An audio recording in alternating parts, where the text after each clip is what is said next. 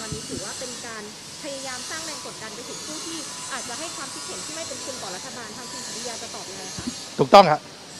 ผมกำลังเรียกร้องให้การแสดงความคิดเห็นต่างๆ ที่เป็นคุณนะประโยชน์ต่อประเทศชาติและประชาชน และร่วมรัฐบาลด้วย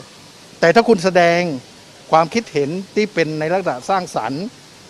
ไม่ไปละเมิดเศษไม่ผิดกฎหมายท่านทำได้ ผมย้ำอีกครั้งว่าทุกคนในประเทศนี้ ทุกคนในประเทศนี้นะฮะ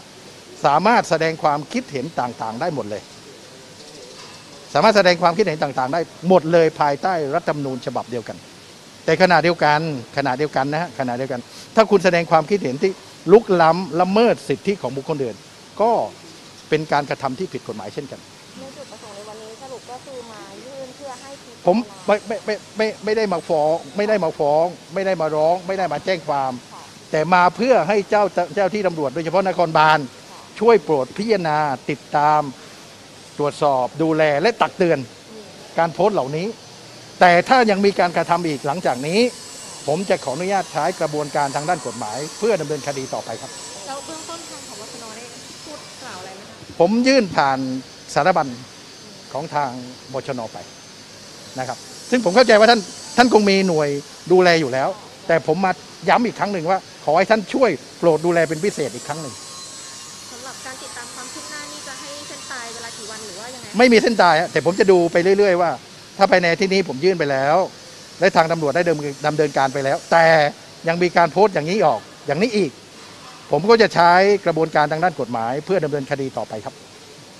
แต่เราต้องการคือผมมาวันนี้คือต้องการ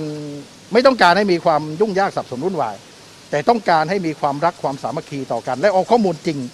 มาเปิดเผยมาเสนอต่อสื่อเท่านั้นเองนะครับ เพื่อการแก้ไขปัญหา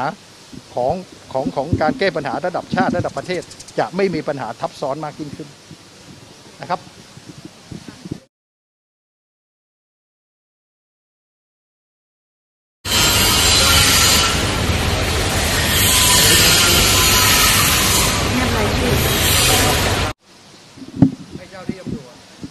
ตรวจสอบกำกับดูแล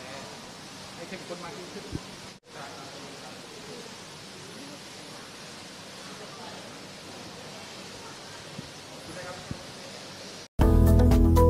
เพราะโลกแห่งข่าวสารไม่หยุดนิ่ง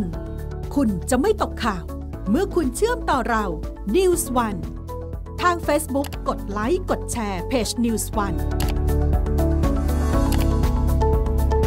ทาง YouTube กด Subscribe หรือกดกระดิ่งแจ้งเตือนทาง Channel News One เพียงเท่านี้คุณจะไม่พลาดทุกข่าวสารสำคัญ